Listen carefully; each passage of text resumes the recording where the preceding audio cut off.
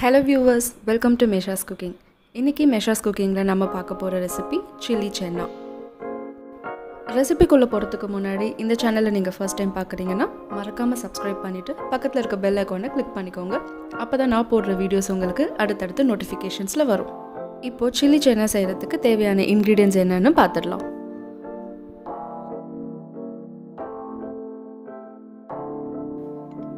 இட்லி சென்னா செய்கிறதுக்கு நம்ம சென்னாவை ஃப்ரை பண்ணி எடுக்க போகிறோம் அதுக்கு நான் ஆல்ரெடி எயிட் ஹவர்ஸ் ஊற வச்சு வேக வச்சு எடுத்த சென்னாவை இதில் ரெண்டு கப் ஆட் பண்ணியிருக்கேன். இப்போ இந்த சென்னாவை நல்லா கிறிஸ்பியாக நம்ம ஃப்ரை பண்ணி எடுக்க போகிறோம் அதுக்கு நான் மூணு டேபிள் ஸ்பூன் கார்ன்ஃப்ளவர் மாவை இது கூட ஆட் பண்ணியிருக்கேன்.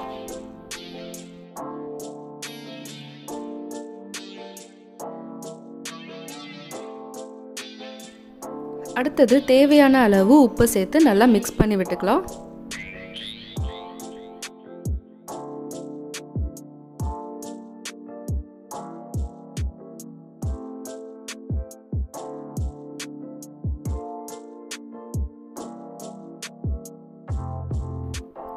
இப்போ நான் ஒரு ஒன் டேபிள் ஸ்பூன் அளவு சில்லி பவுடர் ஆட் பண்ணுறேன்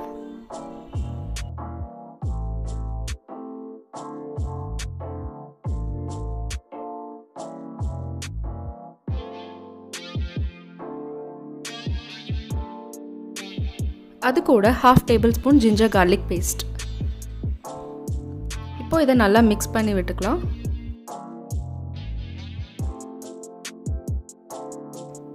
மசாலா நல்லா இந்த சென்னாவோட கோட் ஆகி இருக்கணும். அதுக்காக நம்ம ஒரு ஒன் டேபிள் ஸ்பூன் தண்ணி மட்டும் ஆட் பண்ணி மிக்ஸ் பண்ணி விட்டுக்கலாம்.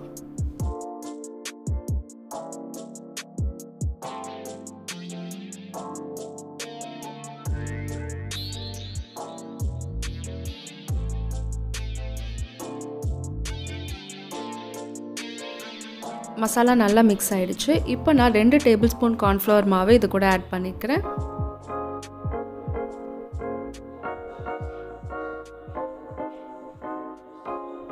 அது கூட ரெண்டு டேபிள் ஸ்பூன் அரிசி மாவு ஆட் பண்ணிக்கிறேன். அப்போ தான் நம்ம ஃப்ரை பண்ணும்போது நல்லா கிறிஸ்பாக வரும். இப்போ இதை நல்லா மிக்ஸ் பண்ணி விட்டுட்டு நம்ம எண்ணெயில் ஃப்ரை பண்ணி எடுத்துடலாம்.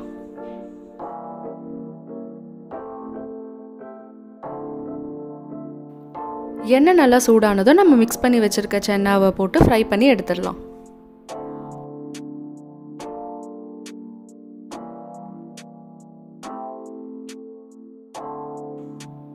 ஒரு மீடியம் ஃப்ளேமில் வச்சு நல்லா கிறிஸ்பியாக ஆகிற வரைக்கும் ஃப்ரை பண்ணிக்கோங்க. ஒரு கோல்டன் ப்ரௌன் கலரில் வந்தால் போதும்.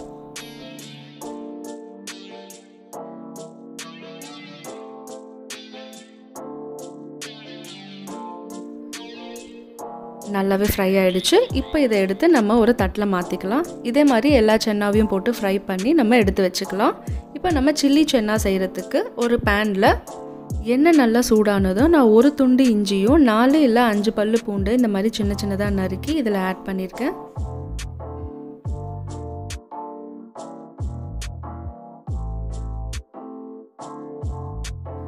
அது கூட ஒரு நறுக்கிய பச்சை மிளகாவையும் சேர்த்துக்கலாம்.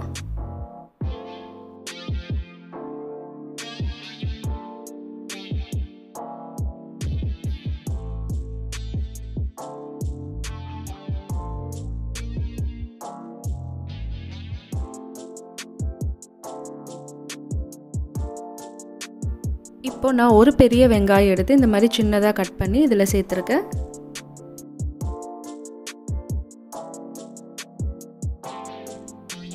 வெங்காயத்தோட நிறம் மாறுற வரைக்கும் நம்ம நல்லா வதக்கிக்கலாம்.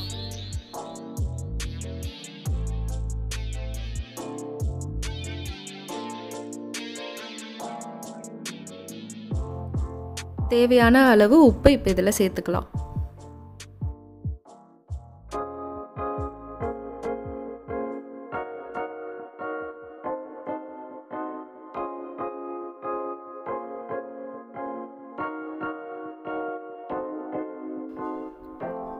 காரத்துக்கு ஒன் டீஸ்பூன் சில்லி பவுடர் இதில் ஆட் பண்ணியிருக்கேன்.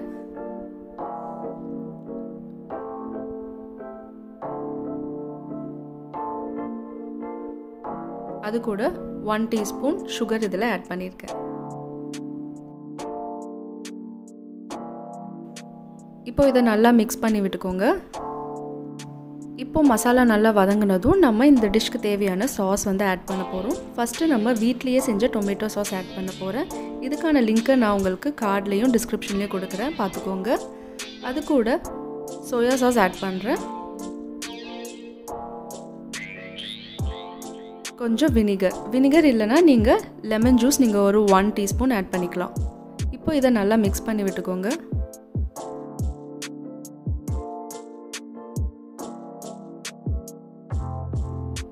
இப்போ ஒரு ஹாஃப் கிளாஸ் தண்ணி மட்டும் ஆட் பண்ணிக்கலாம். ஆட் பண்ணி இது நல்லா கொஞ்சம் கொதிக்க விட்டுடலாம்.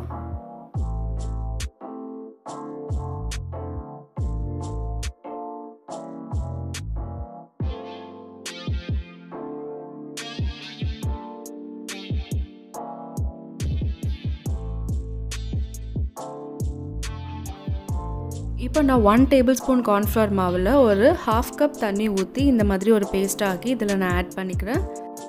நான் ஒரு three tablespoon cornflour paste எடுத்திருக்கேன். ஏன் நம்ம கார்ன்ஃப்ளவர் பேஸ்ட் யூஸ் பண்ணுறோன்னா அப்போ தான் இந்த டிஷ்ஷுக்கு வந்து தேவையான திக்னஸ் அது கொடுக்கும். இப்போ நல்லா மிக்ஸ் பண்ணி விட்டுட்டு ஒரு டூ டு த்ரீ மினிட்ஸ் வேக வச்சிடலாம்.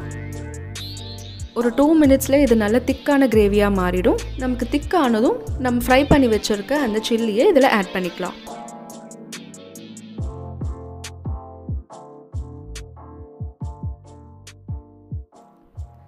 பாருங்கள் கிரேவி நல்லாவே திக்காயிடுச்சு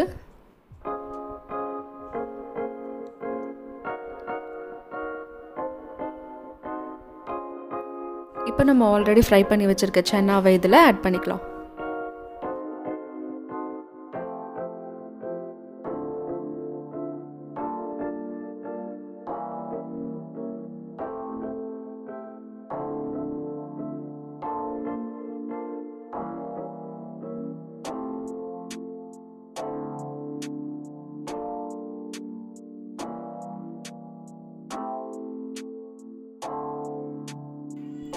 அவ்வளோதான் சில்லி சன்னா ரெடி ஆகிடுச்சு இப்போ கார்னிஷிங்க்காக கொஞ்சம் கொரியண்டர் லீவ்ஸை இதில் ஆட் பண்ணி மிக்ஸ் பண்ணிக்கலாம்.